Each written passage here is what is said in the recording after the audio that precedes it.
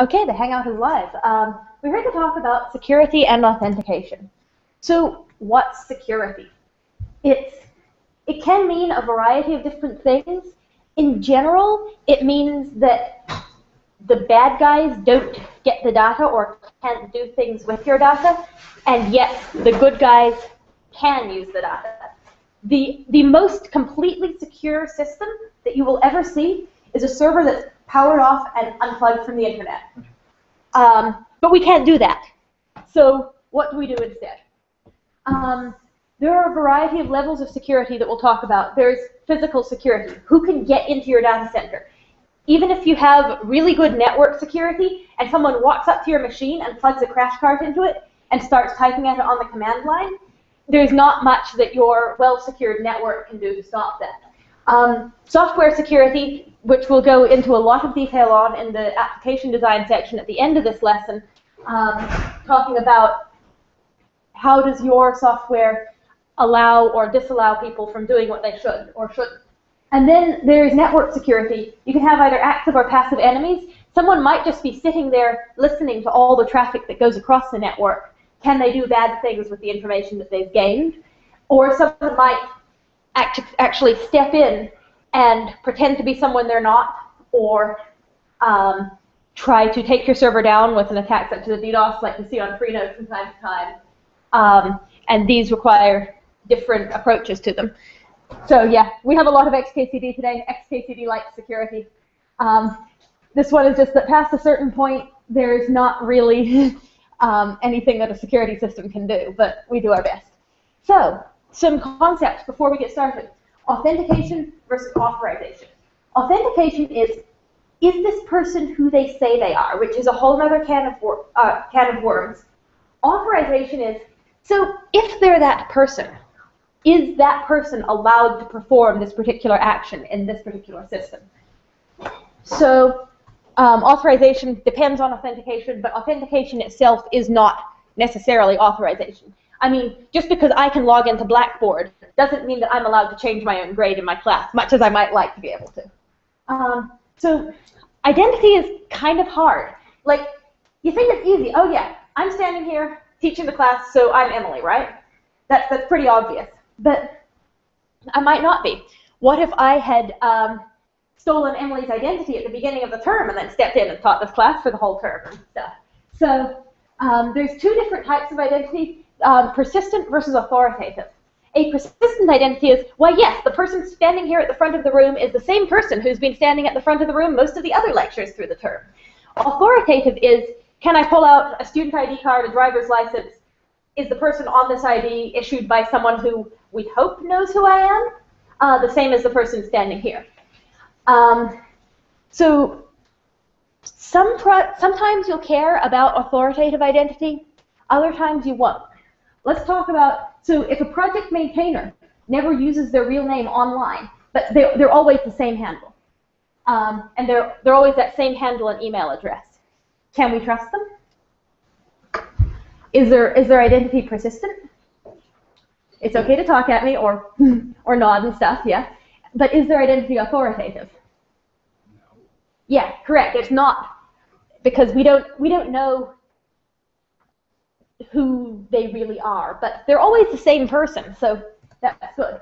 Um, what happens if that same, if you have some project maintainer that you're working with, and their email is at their cool domain, and they lose control of their cool domain for some reason, and so their address changes? Is their identity persistent anymore? No, it's not, and now it's not really authoritative either. So when you're when you're working with multiple projects or multiple people anywhere outside of um, doing internal stuff for a big corporation where HR handles all of that for you, you're going to run into these concerns and um, pay attention to how others fix them. There's no right answer. I'm sorry, but there are good questions to ask. So some ideas for staying more secure. The principle of least authority says if someone shouldn't have access to a thing, then don't give them access to it. That may sound obvious, but it's, it often makes things more difficult to implement. Um, I don't know how many of you have set up websites on um, OSU's hosting, but their documentation will tell you, Oh yeah, just chmod plus 777, everything in your Apache directory. That'll make your that'll make it work. I mean, yes, this makes it world readable and world writable, and that means that Apache can definitely read it and definitely host it for the world. But was that what you actually wanted to have happen? The easiest solutions are not the most secure. So user and group management. Um, make sure that your users and groups are set up such that nobody just magically gets access to things that they shouldn't have access to. Um, even if, let's say, adding, let's say, giving Apache root on your box so that it can get the things in the root um, that are owned by root. That's a really, really bad idea because then it can get to all of the other things. Um, so um, pay attention to who has access where. ACLs are access control lists. We talked about them briefly in the lesson on files. Um, an ACL, or access control list, is a per directory. Um, it just adds more detail to user and group management. It says these people can do exactly these things on these files around here. And so that gives you finer grained control, although they can be difficult to keep up to date if your users and UIDs and group IDs are changing frequently and go back and review, review your file permissions. Ask, does, does this really need to be world executable, or can it just be group executable if the person who's going to need to execute it is in the right group? Um, this, this also applies to who you give accounts to on what system. If someone can do all of the management that they need to through a web interface, then do you really need to give them SSH access to the box and so forth? So in terms of system security, keeping unauthorized people out of your boxes, there's a variety of options that you have available. And I'll, I'll get cool links maybe if I hit F5, maybe if it built, maybe it didn't build. Oh well, the slides are updated now. Anyways, so um, as you may have noticed when you were setting up the System View app, a web server has a whole bunch of different ports on it. You'll notice that like SSH connects traditionally port 22. Um, each, um, you were connecting to port 5000 or 5050 for your web server. Um, there are a lot of ports. A lot of ports have traditional purposes. Often you can get what's called security through obscurity by moving something to a different port.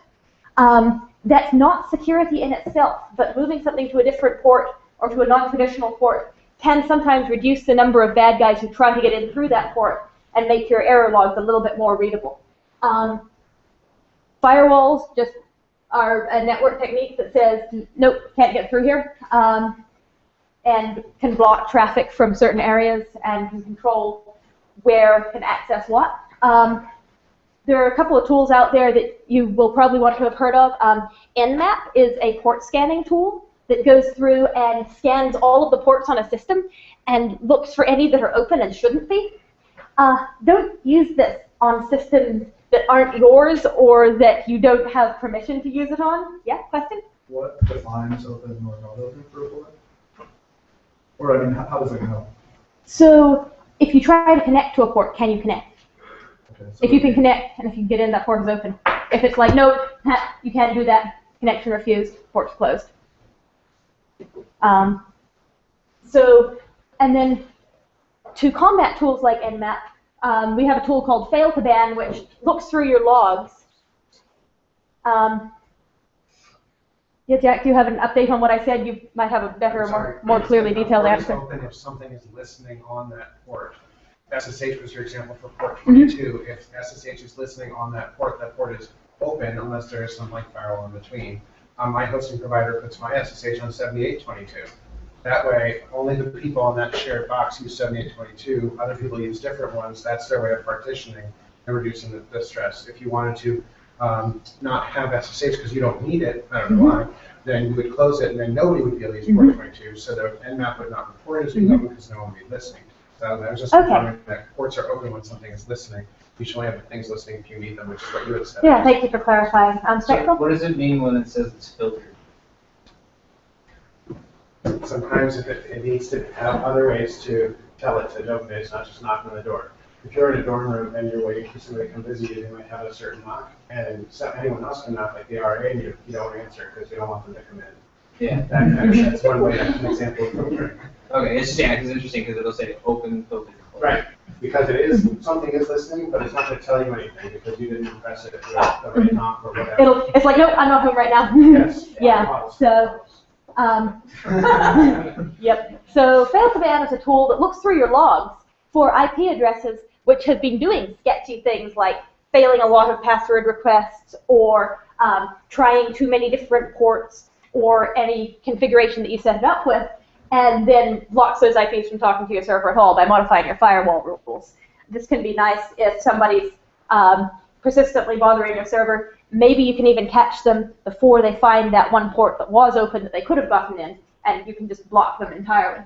Um, so yeah, um, there are more attacks than just the ones that we were talking about today. Um, so a zero-day vulnerability, first off, is an attack that isn't known or hasn't been known before.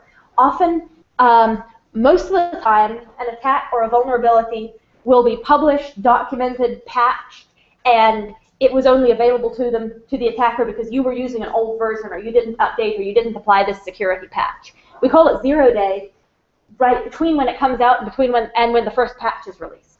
So those are bad. There's not a whole lot you can do against them except for um, use best practices and apply patches just as soon as they come out. Um, so social engineering attacks are pretty cool and they're often they are. They're interesting. They go into psychology rather than into technology and a lot of the attacks that you'll see people use and that you'll see people actually get compromised by are not technical. They had all of their ports closed. They had their firewalls configured right. They had no injection attacks available in their code and yet they lose their account to something. Somebody takes over their twitter handle. Somebody takes over their email account. This is how those happen. Yeah Do you know which of these was the cause for the Stuxnet attacks? Um, yes, I will. I will point that out when we get there. So, um, pretexting is, um, hi there. I'm from your internet service provider, and I just need to confirm a few details about your account so you don't lose service. Um, could you give me the address with which you signed up and the um, and your full name and address and date of birth? Okay. Hi there, Apple support. I just I lost my iPhone and I need to I need to get into it, but I, I I've got my like full name and address and date of birth, but I don't I don't remember the the account password. Could you just reset that password for me and email me? Yeah, my email address changed. It's now this. This is um, you pretend to be someone else, someone you aren't, in order to fool someone into just handing over the information voluntarily. This is why all of your um, security emails that come out from ONID um, or on the, the OSU mailing list are like support will never ask you for your password. If support asks you for your password, it's probably pretexting. Um, phishing is along the lines of pretexting. There's a, that's those support emails. We're missing your password, or um, there's any spam that you get that tries to trick you into into biting, into taking that bait, and into sending them information. Um, phishing is great. You can send it out just en masse and see who bites. Um, baiting is pretty neat. Baiting is when you take a piece of hardware and you leave it laying around. Like, let's say, if you find a USB stick just like on a table in Kelly, what are you going to do with it? Anybody, you're walking along, you find a neat USB stick. Yep. turn it into the office and don't put it in. yeah, well, you're smart. Um, I hear a more a more um, normal student attitude being expressed with, "Oh, just plug it in and see what's on it." Yeah, no, uh, don't do that. Depending on what code is on it and what system you plug it into, if that system has known vulnerabilities that the code is set to auto-run and exploit, you might have just compromised your system. And I believe it was Stuxnet that um, got passed around by infected USB sticks.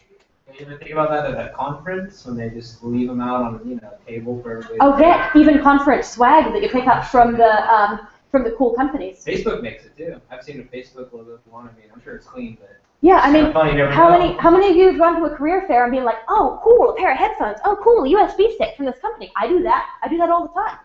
Um, yeah, and so quid pro quo is a form of social engineering where you're like, I gave you something, now you give me something. Um, there was a study where average people in the street, not not smart college students like yourselves, but just average people, like in a uh, subway station somewhere, were asked whether they would trade their password for a chocolate bar, and something like 77% of them said yes.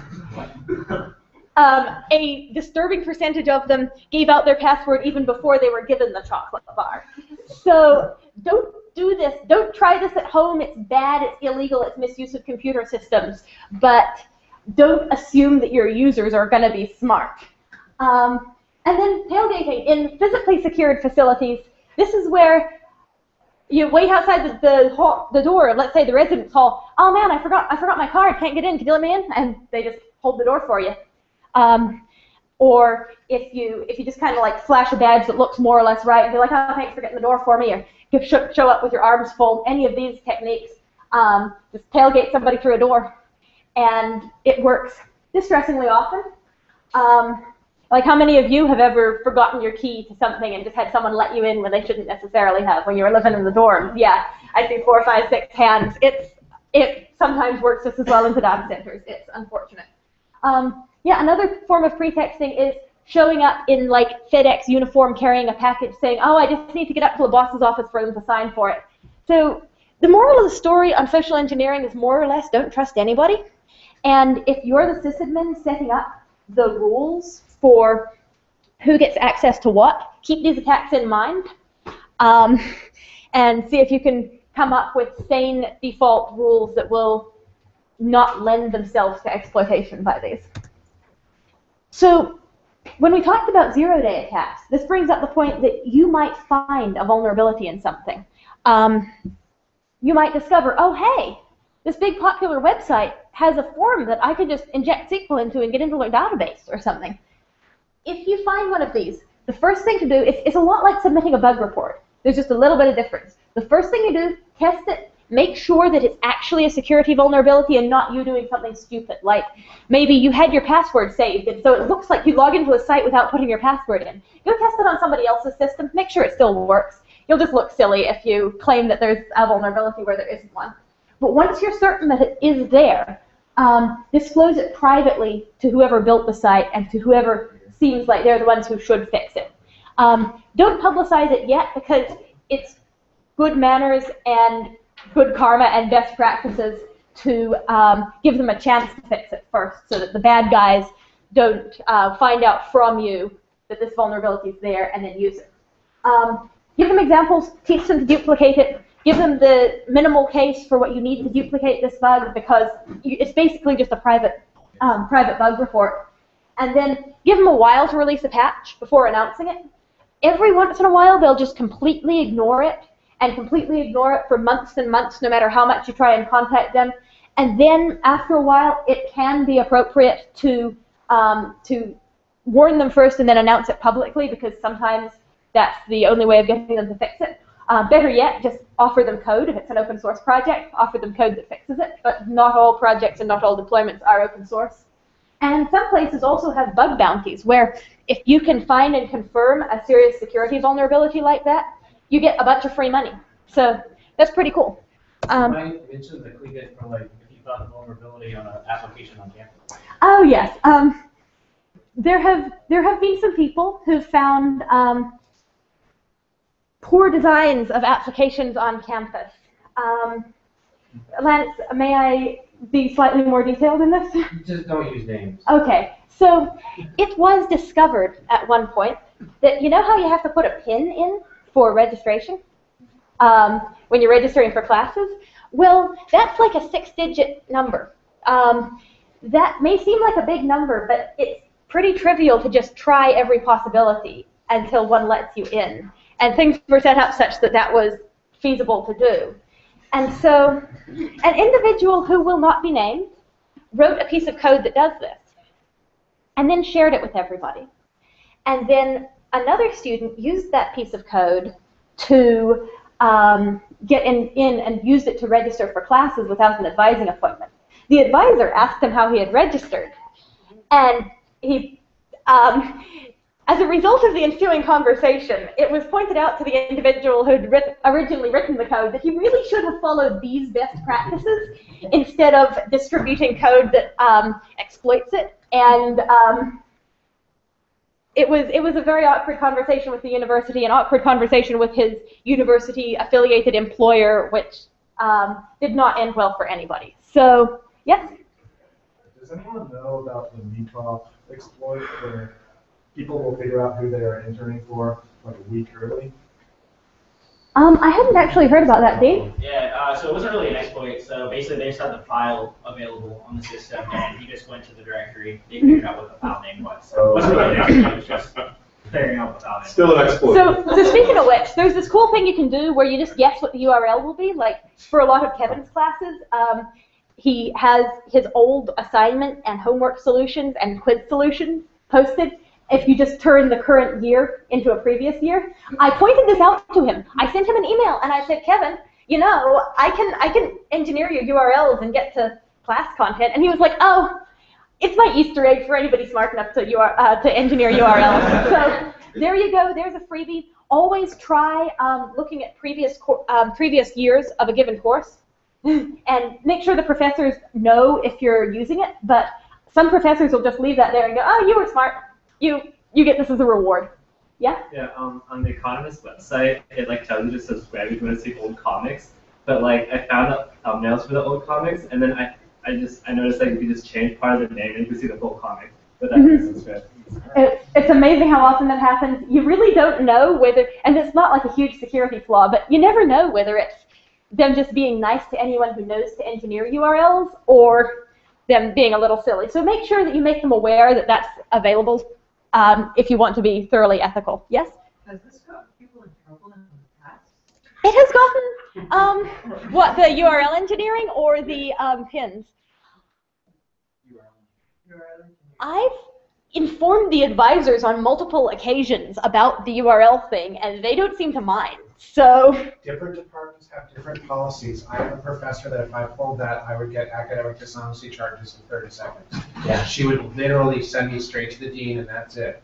So make sure you know who you're So- if you if you find that that's available before you take advantage of it, talk to the professor. Go, did you know that you have this site up here and that uh, students would be able to access it? I haven't accessed it, but here's how you take it down if you want it down. Um, is the is the ethical solution to that? The business department is particularly touchy on these topics, and a lot of the pro school people may be used to the computer science world, which is one you're more Mhm. familiar with. So. Yeah, so so be, be very, very careful. Like CS profs will more or less know what's going on. A business prof might think that you're a scary hacker for having guessed it. So be prepared to be responded to as they'd respond to a scary hacker. General rule just, be, just because you can do it doesn't mean you should. And be mindful of where you are. If you discover some vulnerability in some application on campus, you know, like like Jack said, depending on who it is, they may think that you're a hacker, and you might lose your academic status. So you have to be really careful. I mean, even if you're out in a company, you work with this company, you see this blatant security problem, you know, be careful. I mean, you definitely want to tell them, but you don't want to be the person that goes through and like announces on Reddit, hey, check this out, and then Exactly, exactly. The ethical thing to do and the um, legal thing to do is make sure that it's really a, a bug, disclose it privately and give them a chance to fix it, and make sure that they get that chance to fix it before you tell anybody. So, yeah, um, with that, let's continue to passwords. Um, Tono is a um, an OSL sysadmin and a math guy, math major maybe, math physics, something like that, and knows lots about the math behind this. So Yeah. So have people seen this comic before? So this is like this is a good password, right? It's got alphanumerics. It's even got one symbol that's not a letter or a number. But it turns out that length of passwords ends up being a lot more important because uh, so there's 26 letters in the alphabet, there's 10 numbers, and then you've got about a dozen characters. So that's uh, 52 plus what 20. So it's like 72. So for every letter that you have, you raise 72 to that power, and that's how many possible passwords there are of that length. So length becomes a much more important characteristic of passwords. That's why they, he's characterizing it as entropy, which is a an information theoretic term. It means that it's hard to guess. That's basically it. So we like long passwords like this. Um, so passwords are used to authenticate for any system. When you have a username, you want to be able to authenticate to that user, and so you use a password to do that. There are a couple ways that um, you can design your passwords. So like this is one method. One that I've heard is you do this exact same thing, but you remove a random letter from each word. So that makes it more resilient to dictionary attacks. So dictionary attack is people's memories are very bad, so we tend to use passwords that we can remember. The problem with that is that everybody seems to remember the same kind of thing, so you can design an attack that'll specifically target these type of passwords, which is Troubadour and 3. Um, so use random characters if you want. Um, there's a couple utilities. One's called uh, PWGen, um, and so that'll ran- that'll generate a random password for you of arbitrary length. Um, they're hard to remember though, so password managers are another thing we're going to talk about. Uh, here's a comic if you're following along, or a quote from Bash. Basically, don't give out your password. That's not a good idea. Um, so you need to keep it uh, private. So like, um, I know a lot of moms keep sticky notes on their computers that have their passwords. And to be honest, I don't think that's a big deal. Like, as long as you don't write the account name right next to it, it's usually not that bad of an idea. Um, oh, we're on the internet. We can. I know, right? We can show that. Um, yeah. Uh, so so that's that's kind of the main idea. Um, so that's from the user's perspective. Um, you need to remember your password, so you you have to come up with some method to remember it. Now, where it gets more interesting Ah, is no. um, That wrong what happens on the server side. So to authenticate against a server, the server's got to have a list of usernames and passwords, right? So most easily and most trivially, what you're going to want to do is you're just going to have a giant text file that has username space password, or username comma password for a CSV file. So what that means is I'm going to send you some data. It's going to say comma my password is really awful, and then once it compares those two, it knows I am who I said I am. Um, Sorry. this is really bad because the problem lies in the fact that if the server gets compromised and that file gets leaked, now every username password combination has been shared to the public. Um, so you can't rely upon the, uh, storing stuff in plain text. That's what we say if it's unencrypted.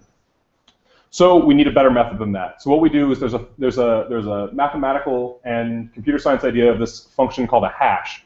What a hash is is it takes strings and then it sends them to fixed strings of length n. Now you want to be able to do this really quickly. So uh, the most common hashing algorithm is called MD5. So what it does is you're able to compare a random string and then it will send it through a one-way function and you get an, a, a fixed length string. So you can do this with strings or you can do this with files because they're just bits, right? Um, the properties of a hash are that it's uh, Oh, um, um, hashes are one-way functions. So what that means is that given a hash, I'm not able to tell you what the input was to generate that hash. So you want to use a hash to store your passwords. So now the idea is we can store usernames next to the hash of the password, and then I don't send you my password, I send you the hash of my password, and we can compare those two things. That way, if that file or that database gets compromised, they don't know exactly what my password is. But again, there's a problem with this. The problem is that hashes are really fast, and computing hardware is so cheap these days that you can easily generate um, a one-to-one correspondence between what inputs match to what outputs for a hash function. Um, there's, uh, it's a slightly outdated idea, but it's a thing called a rainbow table, um, and it is just a big file that keeps list of what what inputs go to what through different hash functions. So if you have this file, you can really trivially scan through a list and see what what passwords people are using.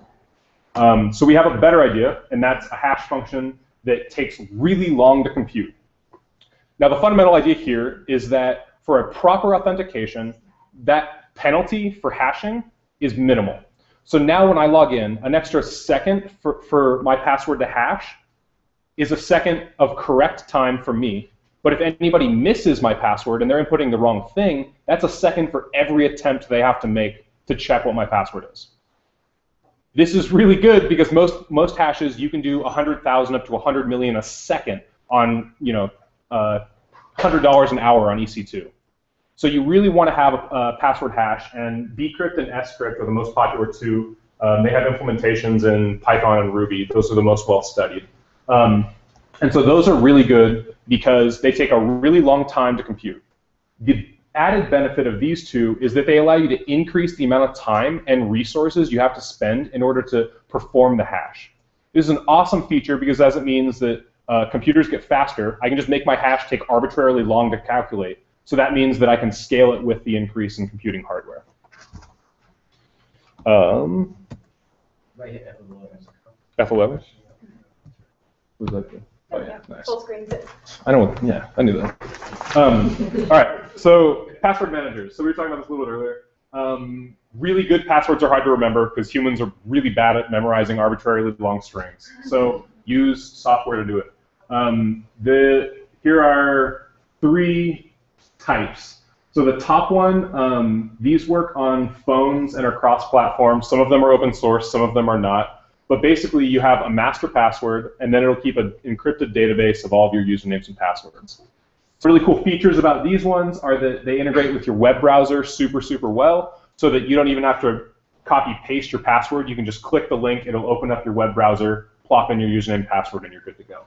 So that's for the, the first couple. Um, Pass is another one. What Pass is, it's a command line interface and it uses a Git repository to keep your passwords. It's very nice if you hang on to the command line, um, and it works really well. I'm dumb, so I just use an encrypted text file. Uh, so dash x just asks you for a key. Vim can use various encryption methods. By default, it uses the Blowfish algorithm, which is which is a good one. Um, and so I just have to remember a password, and I get into my text file, and nobody else can read it. Um, this website, Diceware, is really neat. Um, it'll it'll correct it'll generate a uh, correct horse battery staple style password for you. All right. Keys. So passwords are great. Keys are better. Um, keys are basically password files. Um, it's nice to be able to keep a physical copy of your well, a physical, a digital copy of your password um, around on your system. So these can be used for a ton of different things. There's two styles of keys. There's symmetric and asymmetric keys. So a symmetric key is basically um, like a one-time pad. So what happens is I'm going to uh, perform an operation with a password, and I'm going to send you that file. You can't unlock it unless you know that exact password. So that's really good, but the only problem is how do I get you that password? So we'll come back to that idea. So asymmetric keys use a different approach. Asymmetric keys have the idea that I have uh, a public key and a private key, and the public key, when things are uh, uh, there's two styles, but one, one basic idea is that I can people can sign messages with my public key, and that encrypts the file. And then when I show my private key to that encrypted file, it'll then decrypt it. And it's only my private key that corresponds with that public key that's enabled enables me to unlock it. Um, and then Diffie-Hellman uh, is probably the most important result in cryptography ever. Um, these these there's three guys and then one guy in the UK that did it at the same time, but they came up with a method to communicate completely in the clear. So uh, uh, Mallory is the person. There's Alice and Bob and Mallory, and Mallory is malicious, and she sits in between the two of them. And she listens to everything you say. So Mallory can hear everything you say, um, and it doesn't matter. So this is a rough idea um, of how Diffie-Hellman works. So RSA ties in ties in neatly with this. RSA is the math behind what kind of operations these actually have. Um, but the idea is is that uh, like undoing, separating out paint to its base colors is a really expensive operation and takes an unfathomably long amount of time. So we each have a color, and then we add to our colors, and then we send each other our mixtures, and then we add our private colors, and then we end up with both having the same result. So this is really cool because even if Mallory intercepts every single step of this, she's not able to reconstruct this secret color. Um, so RSA extends this. It's, we don't actually use colors uh, with the map, but R, so RSA uses modular arithmetic to to achieve this same thing. That's a really good representation. yeah, uh, I think Khan Academy is that the one that has the video? Yeah. Yeah. So Khan Academy's got a video that that'll explain this to a much better degree. Yeah. Which parts are shared? Uh, nothing. Nothing's secret. They just like, let's pretend we've never met before. And we're just like, okay, let's use yellow as the base color. Okay, no, we each pick the secret color and we go through and do this. Um, Doesn't that person know part of it but not others? well, if, if Mallory, our attacker in the middle, were to mix the kind of yellowish orangish and the kind of bluish colors, she would get the result of two yellows, a red, and a greenish. And um, you can't divide out one of the yellows. That's really, really hard. Splitting the colors is really hard. So choose a lot. Okay, so RSA. So this is this is the extension of how the math ends up working out. Um, so rather than colors, we use uh, we use prime numbers uh, because prime factorization is a really really hard problem. So you choose numbers that are hundreds of digits in length, and it's very very computationally intense to factor them. So primes are very cool. Um, SSH. So uh, you guys have used SSH for Vagrant, I think. Is that the only explicit way you guys have used it?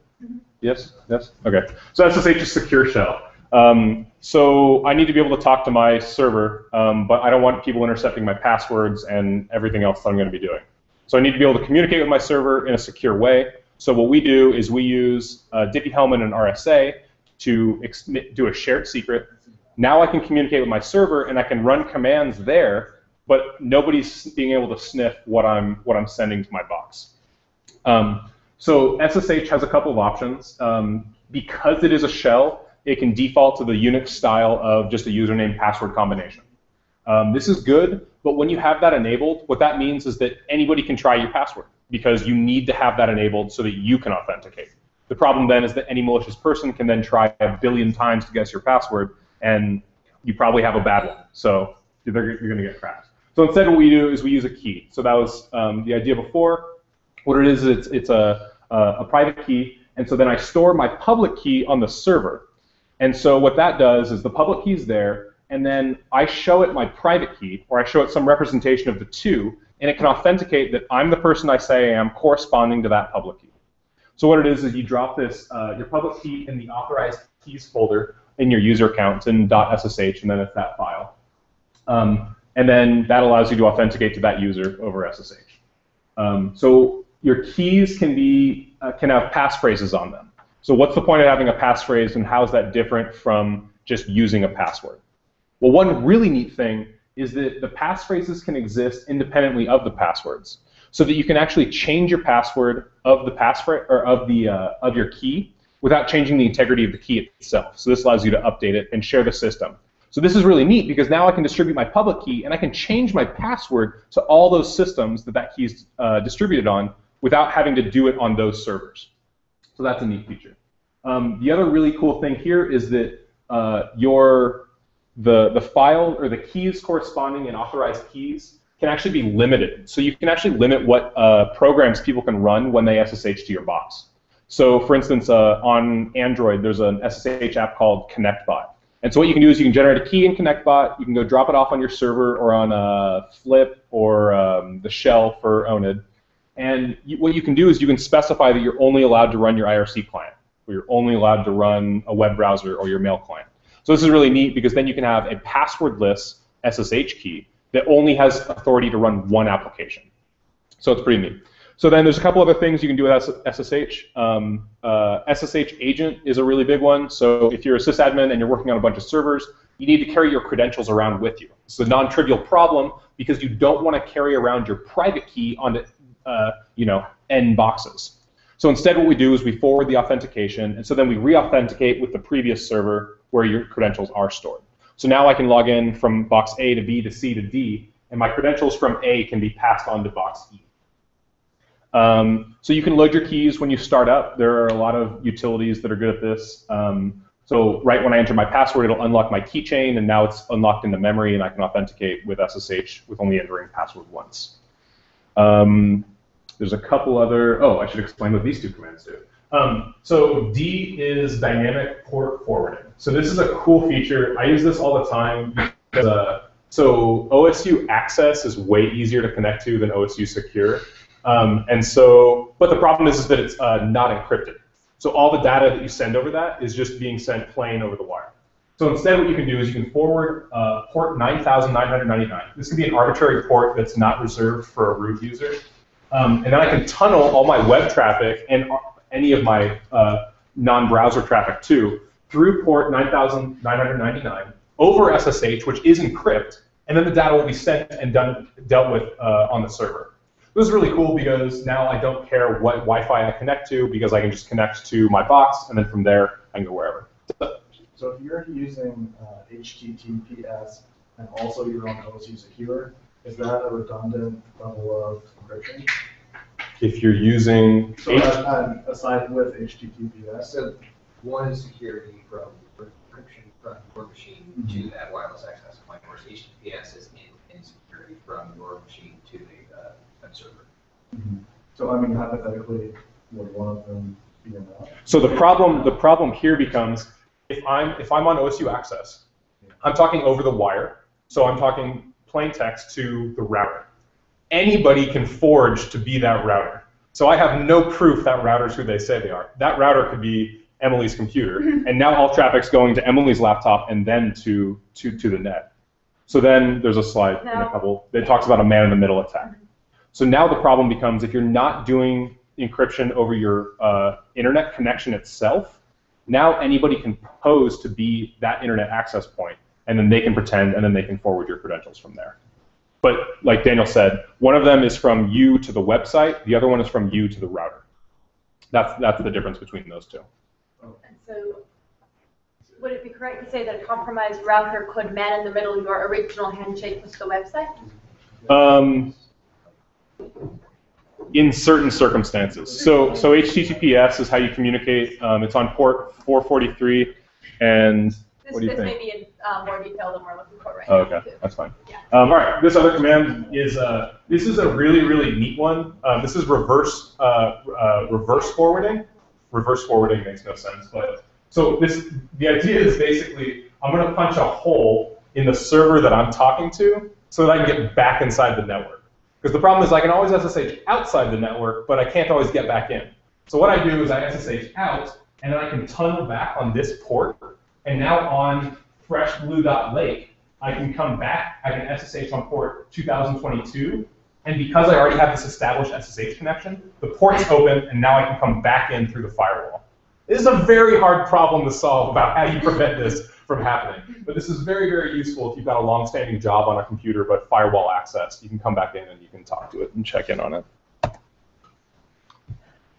Where's the mouse? Also good if you have like a, a VPS and you want to like not allow internet access to a certain thing, like something on a website or something, and then like local hosts can access it. Right. Forward it to yourself and view the page. Yeah.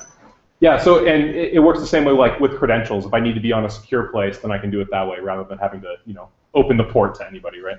Oh yeah.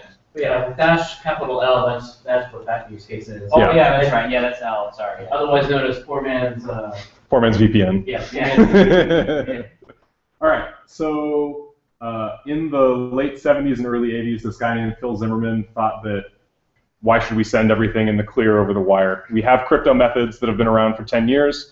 We need to we need to solve this problem. And so he created PGP, pretty good privacy, um, and this was a method to do asymmetric key encryption for both email and for files. So now you can send encrypted stuff uh, on the internet, and you can prove uh, uh, you can authenticate with those users. The reason this magic card's on here is because until I think this is right until George Bush in 2007, um, giving crypto software to other countries was considered exporting arms. So it was an act of treason. Um, it's insane to think about now, but basically the idea is that if we provide our enemies with the same level of encryption that we're using, we're going to get bombed. Um, so that was overturned, and it's really cute the way they got around it because they, they thought that everybody has a right to crypto software. So what Zimmermann did and what MIT did is there are laws so that exporting books is always fine no matter what's in them for free speech reasons. So they just printed the source code in a book and sold it overseas. so it's a pretty elegant solution. All right. So GPG, email privacy. Email is sent over the wire completely in the plain. Email is sent over the wire completely in the in the plain. There is no encryption done on email when, when you send it. Anybody in between the, the, the server you send from and the server that receives it, you can guarantee has a copy of that email. It doesn't matter that you're logging into Gmail over HTTPS and you're doing encryption, because every point in between those two email servers is going to have a copy of your mail. This has been a known problem for 30 years, and no one solved it. GPG is the only solution that people are really looking at right now, um, and you should use GPG because everybody has a right to privacy and everybody has a right not to have their mail looked at. But nobody uses GPG. Very, very, very few people use GPG because it's very confusing to use. Um, this is an ongoing problem trying to be solved by some people in the audience. And uh, one of the more interesting uh, uh, ways that uh, it's been solved is they just make browser extensions. So Thunderbird is Mozilla's, I believe now discontinued um, web, uh, web uh, mail client. Um, yeah, so they might patch, but no longer developed. So you can use it with that. You can use it with Mutt. Mutt is an email client. Um, it's from the command line. Um, but GPG itself doesn't have a very intuitive interface, so it's a huge hurdle for grandma to be able to encrypt files to send to her grandson when, well, she doesn't have Unix. That's the first thing. Um, yeah. So the other the other thing that GPG provides is signing. So mostly I've talked about encryption, but there's another really important part about this, and that's just uh, it goes along with the authentication. I need to be able to send somebody a piece of mail and have them know that it's from me, right? I can't spray my perfume on my email and send it to my lover. Like that doesn't work with email. So I need to be able to sign my messages with my key so that they know that it's really being sent from me. Um, oh, this reminds me. So uh, Richard Feynman was a physicist, and he was working in Los Alamos, and uh, he was working on the Manhattan Project. So they had to scan everybody's mail to make sure they weren't sending mail to the Russians. And so what he and his wife do is they would just put tons of flour in their envelopes so that when the censors opened it, it would just go everywhere. So finally they stopped opening them and they stopped having to put flour in their letters. So that, that's one way to do it. It doesn't work so well with email though. Um, so GPG can also be used to encrypt files um, because a file you send over the web is you know, basically the same as a file on disk. So here's a couple ways I think I just mentioned. Um, so you can do this encryption and decryption, and GPG will handle your keys. Uh, GPG keys can be added into a key manager. Keychain is a command line utility for Linux. I don't know if it exists on OS X or Windows, um, but it works quite well to load in your SSH um, and GPG keys and manage those all in a nice little command line interface. I have no idea how your slides are. Um, sorry, you keep moving the mouse over. Oh, and is the that mouse it? needs to be on Ah, that screen okay. for the, the focus to be on that screen. Um, so real quick, we'll talk about uh, certificates in HTTP. So it was mentioned earlier about, po- oh, yeah. Before you take this up, email, uh, don't some servers allow secure socket layers for uh, some POP servers and SMTP servers? They do. So it's not that encryption doesn't exist. It's just, just that nobody supports it. And the problem is, if your server is supporting it and somebody else's isn't, it doesn't matter if you've encrypted anything because it's got to be unencrypted for when it gets there. So I can talk to my mail server over an encrypted connection, but that's only for viewing my mail. For sending my mail is a completely different issue. Well, if you send the emails through an authenticated SMTP server that is encrypted, but after it leaves that mail server, it, you can assume that it's not. Okay. Because- so like, It's the not connection point here, to a specific ISP. Huh? You've been assuming that they're not bouncing it somewhere else. No, it's more like this man in the middle thing. You talk to your mail server, he talks to his mail server, but both of you pass through Lance's server. And in order, since Lance is not part of your authentication chain, the only way for it to get between you two is to be in the clear, in that text. You look at your mail, be Oh, I see what received by your secure server, received by Lance, received by Pono. That middle step being in the clear is where the NSA will be like, oh, that's awesome, I'm so excited. But it, it, another analogy is like you have a letter that you put in your mailbox. Somebody could walk up to your mailbox, take that out, open it up, and see what you wrote. But if you put it in like the U.S. Post Office mailbox, you hope that it's secure enough that it gets to that point. But if somebody robs the, the you know, the U.S. Postal Service, and they they can open up your letter. Or- But if that letter had an encrypted message, they can't get it. And that's essentially what we're talking about. What is it protected? Just my password? No, the content of the email. No, I meant the secure socket. The secure socket is your relationship up that keeps basically other people from getting your email account. Right. If you're like, I love puppies, and Pono's like, that's dirty, or whatever, that's between y'all. And if you encrypt that, then we'll never know you're playing with puppies. It'll be a private thing, but if you don't encrypt it, then Lance is gonna know all about it. I don't want to know about it. All right. Anyway. So um, we talked a little bit earlier about ports. So HTTPS is the secure socket layer for HTTP. So it adds a layer of asymmetric encryption to web connections. Um, it's done over port 443, but that does not mean that anything sent over port 443 is encrypted. It's just tradition that uh, Apache uh, uses that port specifically for um, encrypted connections coming in and out. Um, So there's this idea of certificate authority. So basically, um, you know that box that comes up that you always hit approve when you go to an HTTPS website and you don't know what it says, but it says let me go to Reddit or what, let me go to something. Yeah. So what that box is saying is that the, the certificate that that web server has doesn't share the same name with the domain you're trying to get to. Most often, what that means is that I own uh, danieltakamori.net and I own Terabot, but I only have one cert. So I'm using the same cert on both servers. It's probably legit, but you cannot guarantee that because that uh, that name mismatch, that you are having a secure session with the person you think you're talking to. Um, so there's 650 certificate authorities, so that means that only one of the 650 certificate authorities has to approve somebody's certificate. This becomes a very big issue uh, because that means you have to trust 650 corporations that might have other interests in you. Yeah. I think those are like browser extensions now that you can like kind of fine tune that, so you have more control over. There are some. The big one is tac.io, which I had linked. I think I edited out. Um, and convergence. And the idea with that, they're being written by Moxie Marlinspike and some of his friends. The idea there is that why should I trust certificate authorities when I know I can trust my friends? Yeah, exactly. And I trust my friends' friends. Or you're just using them for yourself. Exactly. So, so the idea there is that let me build my own web of trust Right. for uh, certs rather than having trust. Yeah, I mean, it makes perfect intuitive sense, but we just have to get people to use it, right? Yeah. Um, yeah, so here's a command that got totally cut off about how you generate a, uh, SSL cert, and then you can drop it with your Apache config, and now you can have encrypted communications. Uh, man in the middle, this probably should have come way earlier. Um, so when I'm talking to somebody uh, over the internet, so like traceroute will tell you every hop that you get from your connection from point A to point B. Um, besides the endpoints, every point in between can be man in the middle. So they're going to be a malicious person, that's Mallory's name. Um, and they're going to listen to everything, they're going to track everything. So you have to assume that everything you're doing is being listened to. So the idea with a man in the middle attack is when I try to talk to Jack, if we don't have a pre-shared secret, somebody in between us is going to forge a secret, and I communicate. Okay, so I communicate with Lance, but Lance is communicating with Jack. So I think I'm talking to Jack, but Lance is actually changing everything that I'm saying. So I tell Jack my love of puppies. Lance says I love cats, and now we're having two different conversations, and this is not the this is not the idea. Um, Wi-Fi.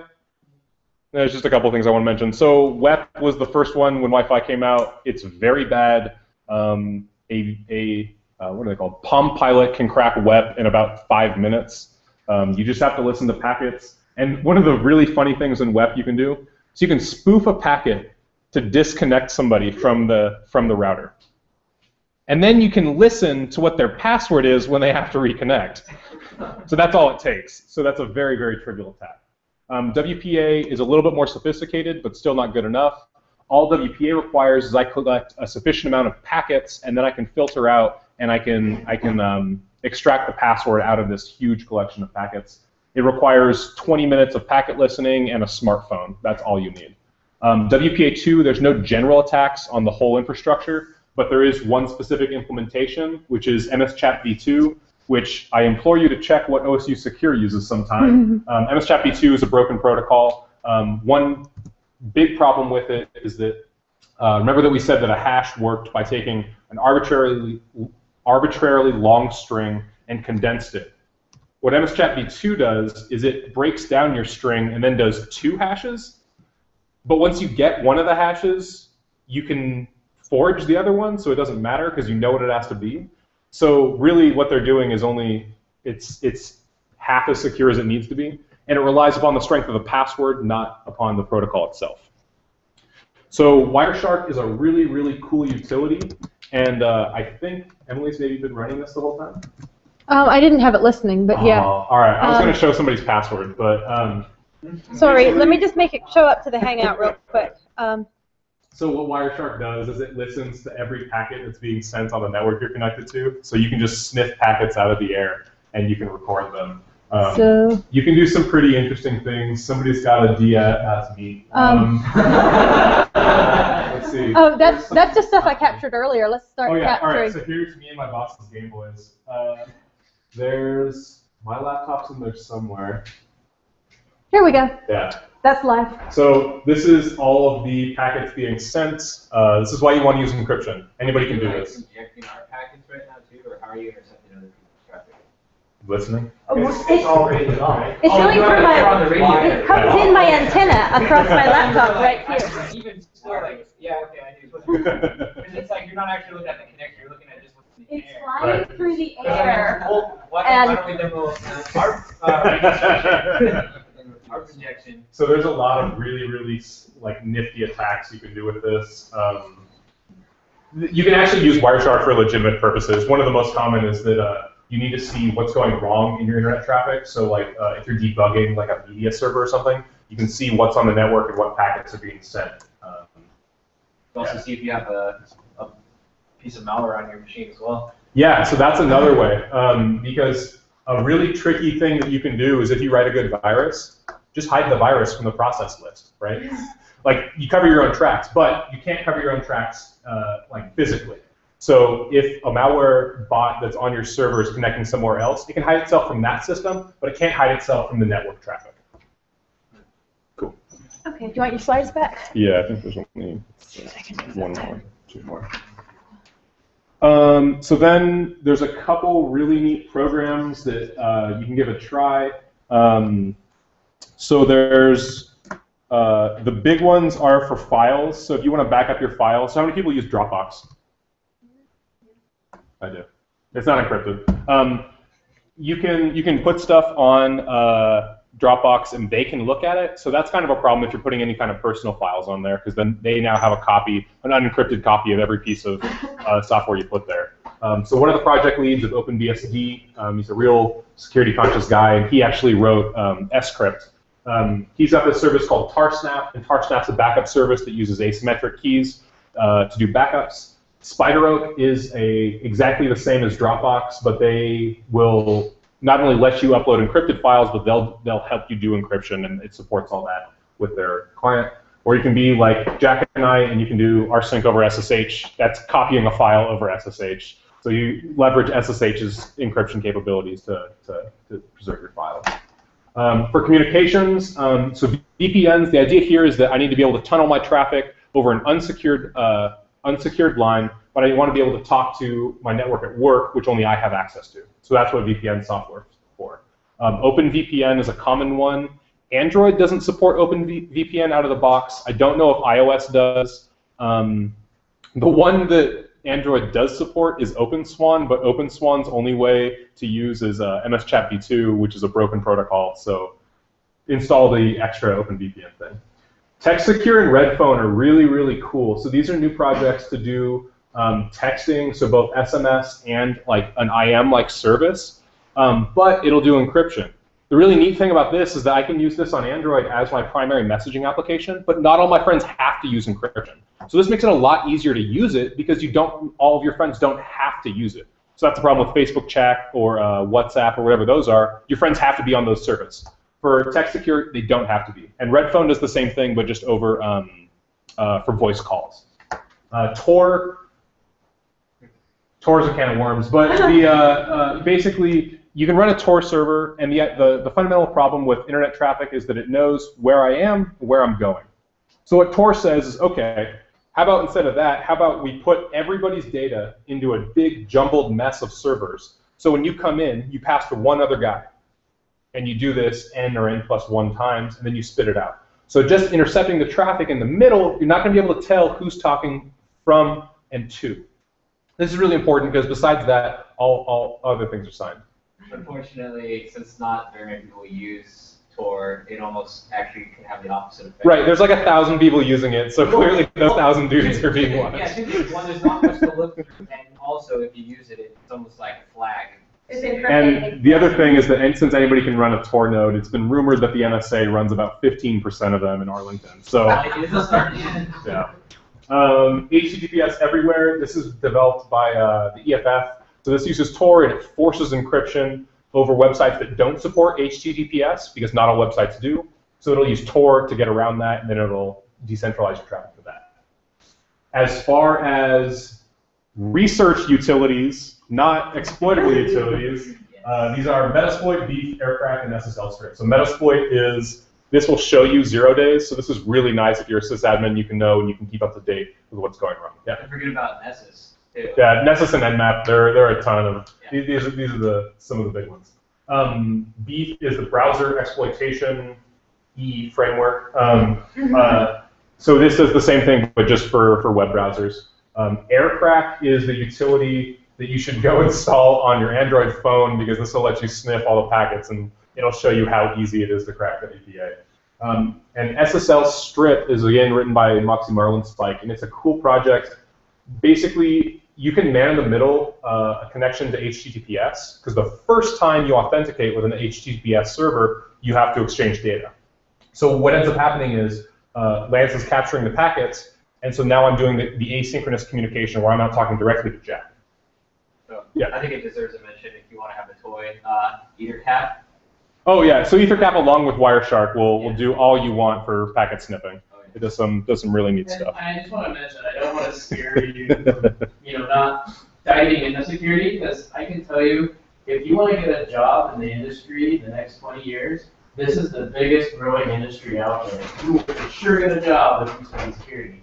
Oh yeah. But my, and- my, my note is, is like, you, you know, set up a local environment, play around, learn the basic things, but like, don't do malicious things. Do things for good. Break your own locks, don't break other people's locks. Yes. That's that's the point. A lot of these tools are illegal in Germany too. I think, aren't they? Uh, I think I mean they can be used for research purposes, but a lot of they get a bad rap because a lot of people use them for malicious purposes. So, but they are they are very important tools if you're trying to expose vulnerabilities in your own systems. They're very very invaluable. and break your own locks and not other people's locks, not only because it's bad and illegal to break other people's locks, but because the odds are that they will notice and they will catch you because they're used to people doing this. And just so just know.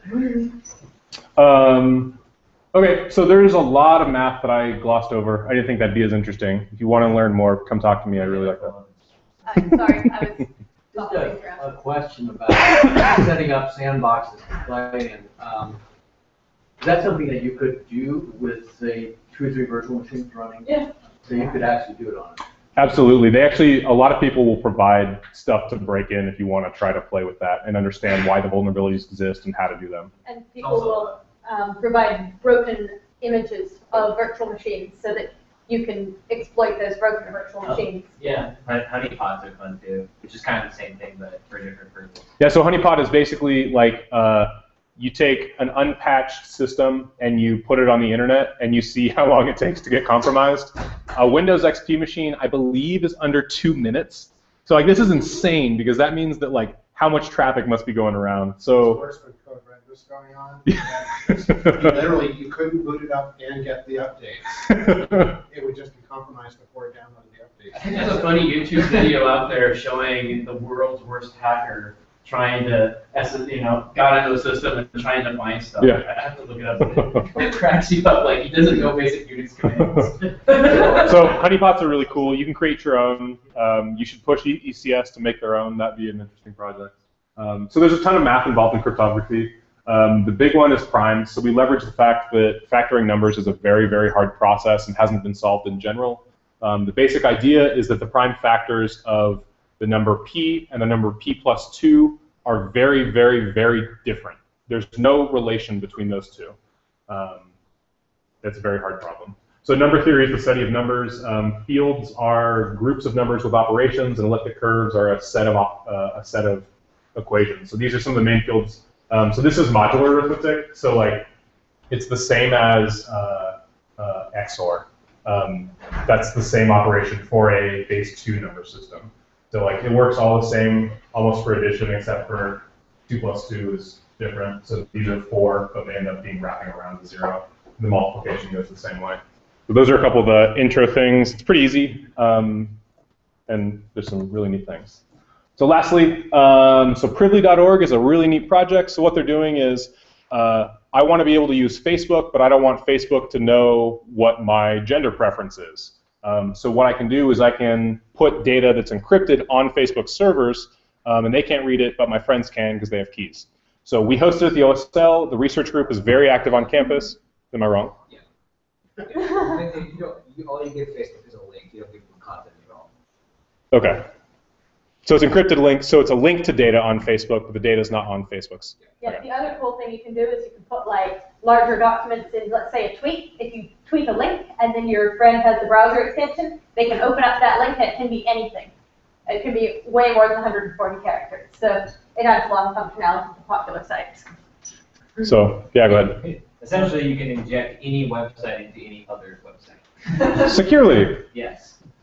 No, privileged alpha. Yes. Yeah. Very, uh, Don't put real secrets on it. Don't Yeah. trust it with real secrets yet. So they've got an IRC channel. You can just hit up their website, and uh, that'd be good. Um, I just wanted to add a personal note. So there's always this thing: why would you use encryption if you have nothing to hide? People have a basic right to be able to communicate in private, and I think that it's very important that everyone have access to software that allows them to communicate in private. Just as I don't expect my mail to be read when I send it to my mom, I don't expect my email to be able to be opened up and listened to anyways. So uh, jeremykun.com, this guy is a mathematician and a computer scientist. Got a bunch of cool writings. Thoughtcrime.org is Moxie Marlinspike's website. He's got a blog and a bunch of information about the research he's doing with Whisper Systems that develops uh, TextSecure and RedPhone. And Daniel pointed out I can't have a security talk that doesn't include Bruce Schneier's website, who's the godfather of modern computer security. So that's my spiel. Um, I wanted to mention that, um, for those of you interested in wanting to do security stuff, the Privly Project is a, uh, participating in the Google Summer of Code this, this summer. So, um, we're, I think we're having a open house on it. March 7th, I think. Yes, there'll be emails about it. I'll make sure that email gets forwarded to the boot camp list as well. But yeah, highly recommend you wanna, if you wanna get involved in that as an internship over the summer. Uh, also, events coming up, there's what's called a CTF or Capture the Flag happening on the sixth of March. Uh, It's a like Thursday, All day, day. ten to six, Kelley four one oh seven. You're on the CS Pro or CS Pre mailing list, something we know like a few days ago. And It's put on by Raytheon, I think. Mhm. They're, um. They have a, Yeah. they have things at DEF CON and stuff, and they're bringing it here. Um, it's a good thing to get involved with. Their brochures say no experience necessary, so um, I'll make sure that gets out to the list as well. Um, No, to, to explain the event, uh, you're basically trying to find like these items or flags using like security things, like hacking systems that they have set up or, you know, breaking random encryption things. It's, it's really awesome, awesome way to learn about, more about security and cryptography, stuff like that. Um, Yeah. I think I got that. okay, um, Jack, you're up. I was gonna say, uh, if we have time later, I did post the, the world's worst hacker video in the, the IRC channel. channel. And, and it's hilarious.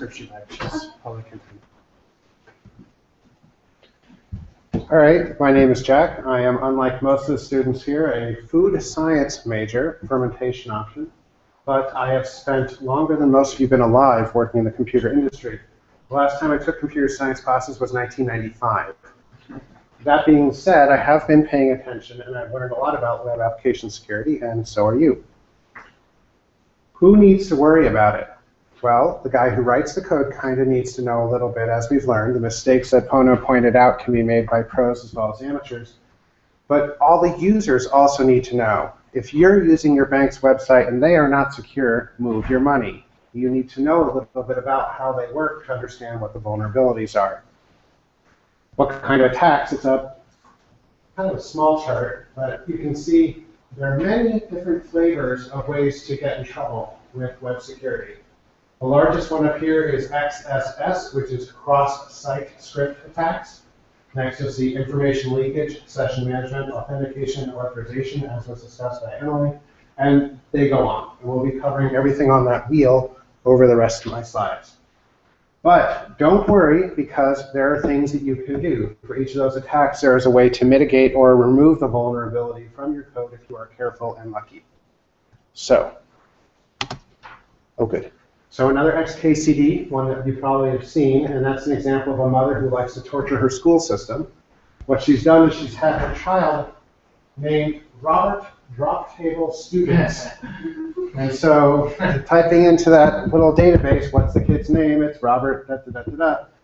That little string there is an SQL injection attack. SQL is a structured query language, which is used for uh, messing with databases. Normally, you only want to see Robert in that name field. That name field is quoted.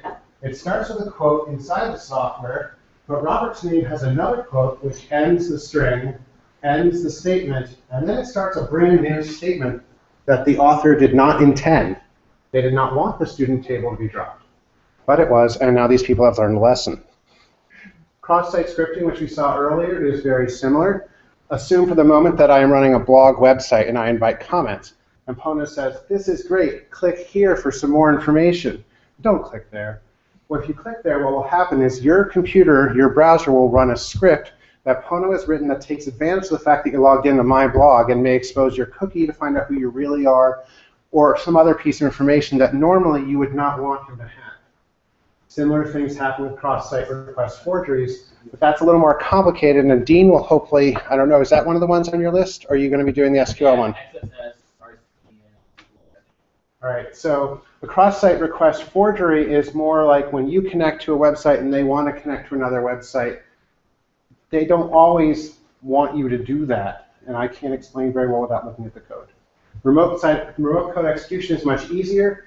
That's just like with drop table students. Imagine if it was delete the root user, rm-rf. You probably, they've learned that, right? That's bad. They know? Yeah. Okay.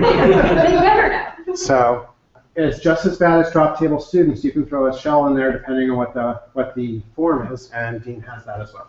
I don't know, pop quiz. Pop over your shell and rmrf slash. No. You do this? Don't do it.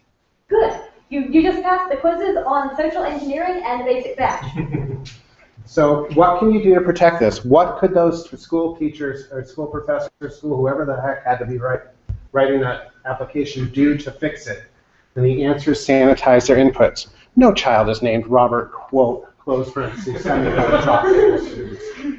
What should have happened is they say, here is the valid domain of characters in a name. You know, here is A through Z, 0 through 9 if you're crazy, maybe some international characters depending on where you are.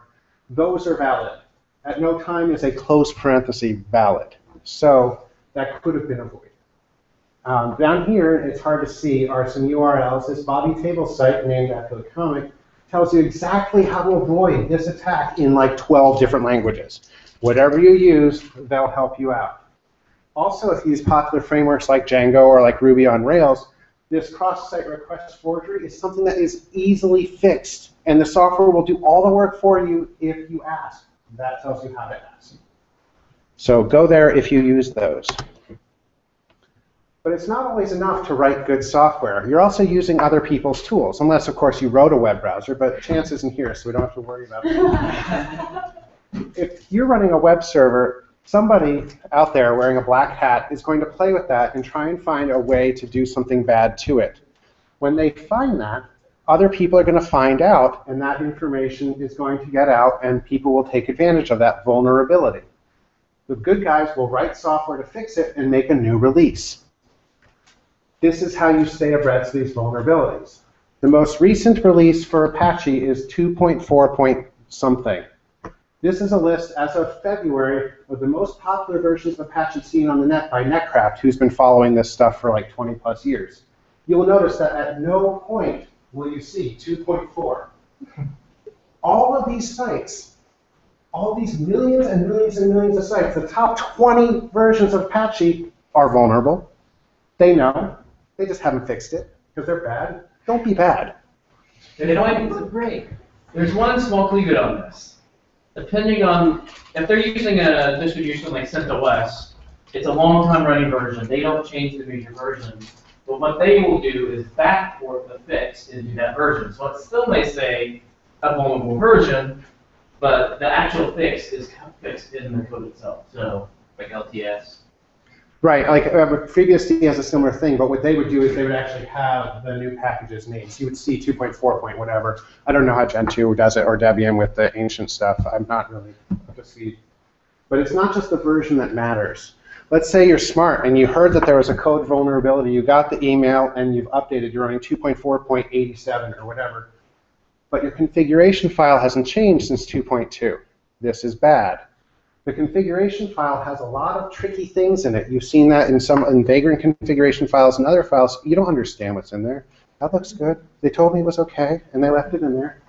What if you have the default Apache configuration file? You would have a little uh, thing in there that tells you the server status, which is great if you're diagnosing a problem. It's great if you're trying to break into somebody's system because then you know the status and all those things. It defaults to on, or at least it did 10 years ago. Mm-hmm. So probably from 10 years ago, half these guys are running with that default config. So check your configuration, make sure you understand what's in it and what should be in it, and when the version changes, look at the release notes. Don't be these guys. The rest of the problems come down to problems with your design and your implementation. You've gone over authentication and authorization in great detail, which is awesome because it is complicated. Um, but session management's a little harder to understand. How many people here use like websites that let you keep your password, remember me, that kind of stuff? Probably all of you. So you know how that works. It uses cookies and stuff like that. Oh yeah, that's Jack. I know because I've got this number and he has that number, and because we have the same number, we're friends. Problem is that they default to not expire, ever. You ever go on a website 15 years later and they still know who you are? That's creepy. Um, it's also bad because let's say you've gotten rid of your computer, you've sold it to a friend who sold it to a friend who, you know, left it on the street for someone to pick up. Who knows where their hard drive's gone? Who knows who's now getting into your websites from 15 years ago, talking about your ex-girlfriends or whatever? Yes? Um, you're going to talk about it later, I think, but um, encrypt your hard drives because everything that's stored on the disk then can't be read. There are costs and costs of that, and I actually personally don't cover it because it's not specifically a web thing. But uh, actually, I had a conversation about 10 minutes ago about encrypting a hard drive. Should you or shouldn't you? There are pros and there are cons. Actually, Linux users group next week, um, Tuesday, 6 p.m., we're having a talk on how to do full disk encryption Oh, good. and the pros and cons of it. So if you are interested in encrypting your hard drives, come to that, um, and let's continue with the web app stuff. All right. So back to um, information leakage, which, as you saw, was the number two thing. Let's say you're planning a surprise party for your friend, and it's next Friday night, and your friend says, "Do you have any plans for next Friday night?" And you say, "Yeah, but I can't tell you." So they now know something's up. When they come to you at the party and say, "I knew there was a party because I knew you were busy and it was my birthday, and you're my friend, and you wouldn't be busy on my birthday," you just leaked information. Now, in a computer version of that, let's say you're writing a replacement for some OSU software that has login and password stuff, and you have a different error message for whether the username exists or not. If it says no such user or that password doesn't match, you've also leaked information. Now people can figure out whether a username is valid. That same thing is a um, directory access, which is a kind of a more specific thing. There is a way to look at who is actually on campus, even if their directory is hidden, by trying to look for them. It sounds kind of silly, but that's it there because they don't actually filter out there is no such user versus we can't tell you that question.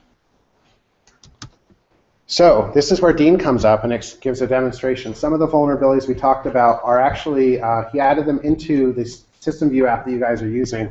And uh, Emily and Dean will hopefully tell you guys how to get to that software.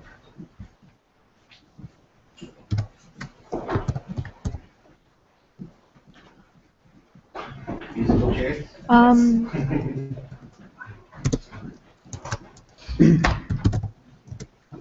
see if that's running. Is that running? Um, do I have the app running? again? Let me. I. Let me just fire up the app real quick. Oh, So I've checked out the bad security branch, Okay. and now I'm running the app. And now I'm. Here is our System View app. Um, and, and it's showing up on the screen on the feed. We're good. Okay. So your stuff's going to be showing up over here because I'm dual screening like that. Yeah, no problem. All right. Um, so what we're going to be showing off today is uh, SQL injection, um, which is what you was talking about before. That was the little Bobby tables thing you saw. Um, remote code execution. So that's running code on the host machine that you have your um, like server on, server running on, and a uh, cross-site scripting attack. So uh, we'll start off with the SQL. Uh, okay. Um, yeah.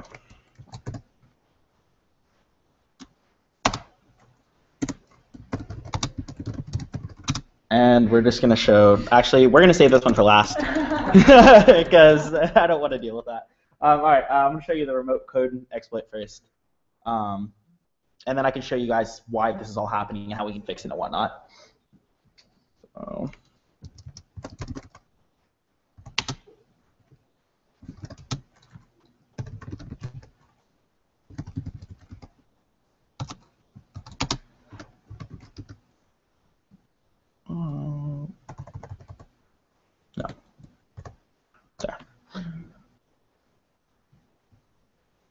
Okay, so we'll run this first. Okay, so we didn't get any errors or anything. And it's like, oh, we found a process that says nonsense. Okay, well that's kind of weird. Um, and okay, okay, if we look here, um, is this in the VM? These are both, or Is this one in the yes, VM? this is in the VM. Um, shall I put that on screen so they can see it? Sure, one. I think it's here.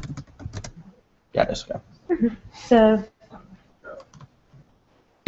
that is three over there. Uh, four. Now I want it in three. Oh, I see what you're saying. Okay. So that I can. Um,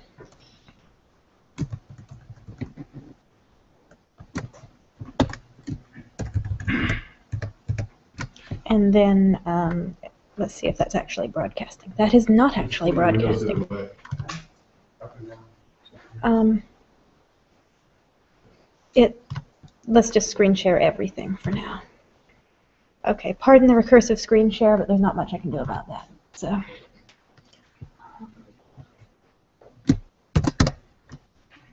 There we go. Okay, cool. Um? Okay. What was it on? Is it on Um, five? you're over here. Um, you're on eight, Oh, it's over here. Okay. so that they can see it. Now, now if you type, it'll show up there. Okay, cool. So, um, as you saw before, I don't want to switch the windows again. Um, we catted the contents of etc. slash password, which has passwords for your system, into a file called text. Um, yeah, test, whatever. Uh, we look at test. We have everything that was here. So, for example, if we were to use um, a utility called mail, uh, we could have mailed all these passwords up to me or something, and now the now the hacker, whoever um, uses that exploit, has all the passwords for your system. Or, yeah, okay. Um, so that's bad, obviously, and we don't want that. So back to the app. Yes. then we'll Uh, wait, that's Wireshark. Um, All right, and then we can show it. What's the other one? XSS. Okay. I'll show off the XSS real quick.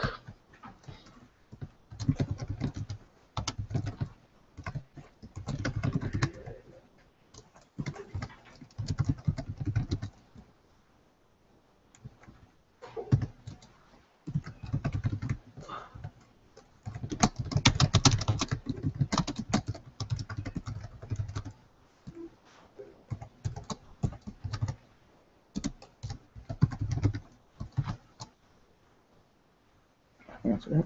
As long as I didn't mistake. So now it should be whenever we reload the page.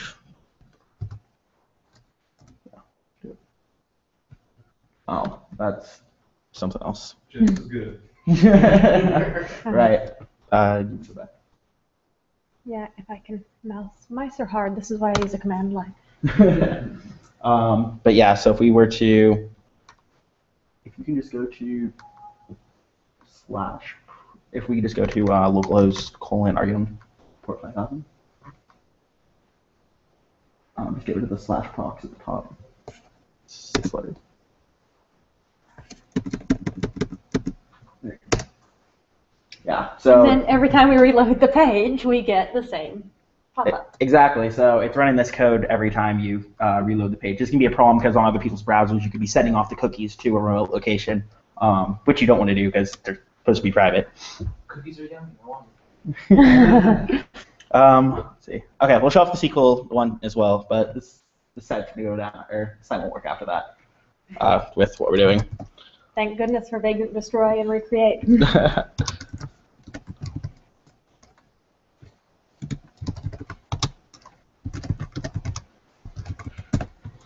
Okay. Um, so this is, yeah. so now our database is gone. Um, you could have done, you could have done other things like grab all the grab all of it and put it somewhere. You know, you could have done anything, but we just decided we were going to destroy our database because we're malicious and we're evil. Um, so yeah, that was what we decided to do. Do you wanna pull up the code real quick? Sure. Um, and note also that there were a few things that he had to know to make this happen. Um, he had to know the name of the database. He had to know the names of the tables, that kind of thing. That information can be leaked to other places, or you can just get it from social engineering. Hey, Dean, that, that's a really cool site you made. Like, how did you do that SQL thing? Like, like what database did you use? You know, if, if you're good at social skills, unlike me, you can very easily get somebody to tell you that kind of stuff. So did you like um, have to change something with um, SQL Alchemy, or were you using? different- Yeah, no, uh, we, we, we changed a few things. We uh, botched the project. Yeah. The fix is to switch back to develop. So. no, no, it isn't. The fix is to like actually fix the thing. So Right. if you um, if you're in your VM and at the app and you are looking at the slides, it will have showed you how to check out. It's uh, git checkout is it dash tb. Um, Uh, Yeah, yes. git checkout dash tb, and then the branch name is security dash bad, Mhm. and then you git pull origin security bad, and you're magically up to date. And then when you run your app, it will be the bad security version. So Alright, um, so I'll go over the remote code uh, execution uh, first. Um, basically up here where you're seeing the PS aux uh, grep, um, that's taking all, all the processes that are running, and then uh, we're using grep because we're trying to show off um, all the processes that are there, right? Um, this specifically is just seeing if it exists in the database. If we, if they would have been doing it down here, where, if they would have done it a little more down here, um, like looked or when they're creating them. Or, oh, never mind. Sorry, I'm thinking of the SQL. Um, anyways, uh, so right here, if um, we, since it's just grepping for something, if we put a semicolon at the end, um, we end that statement, and now we can execute whatever we want. So that's bad, and that's why it's important to sanitize your inputs. So we're executing arbitrary bash Mhm. here. Um, and this is also why in the original app design, you were shelling out much more specifically and not just execing random inputs from the web. Because this is what happens when you do. Exactly. You shouldn't ever really be um, without without making sure that your input is invalid. You don't ever want to execute something that someone sends you blindly. Um, that's really where a lot of code goes wrong, really. Um, Is that why the sub-process documentation has good warning yes. uh, exactly. Um, all right. So yeah, that's the remote code um, execution exploit. Now we'll go down to the. All right. Um, so right here, this is just doing a raw SQL query. So this is more or less it. Uh, when you're using an ORM like SQL Alchemy, we talked about this before, um, it does a lot of the sanitation whatnot for you, but for purposes of the demo, uh, we're literally taking, uh, we're just doing a raw SQL query and embedding in exactly what uh, the user put in on the site. Um, so we're saying this is just to check to see whether or not a search term exists. Um, we're just saying select star from searches where uh, the term is equal to whatever whatever the person entered. It's on the wrong It make should, it pull, good push one. it should be showing both.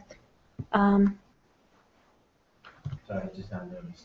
it's showing the other one to the right, isn't it? I. Um, Uh, I can still keep on. Yeah, keep Okay. going. All right, um, so yeah, basically this is just uh, executing whatever's in right here. So when we, um, if, as you see right here, we have this uh, little uh, quotation mark. If you send in another quotation mark and then use a semicolon, it will end that statement, and now we can execute arbitrary qu- uh, code on the SQL server. Um, if this would have been what we were doing for actually showing all the processes, uh, which is how a lot of stuff happens. So like, let's say you want to see all the users um, in a database, or maybe see all the listings for a search term. Um, uh, it'll like do a select statement. It'll show everything from that select statement. Uh, now you're able to like, basically what you can do is you can query for all of the users, or you can query another table on top of what you already had. So instead of just executing stuff, you're able to actually see like all the tables that exist on the database. They have a database on the database if permissions are set up properly. Um, but it gives you a huge amount of access if you're able to do this. Um, not just to the database, but just see uh, small th- or seeing user data in there too. Should be formatting that, not plus it.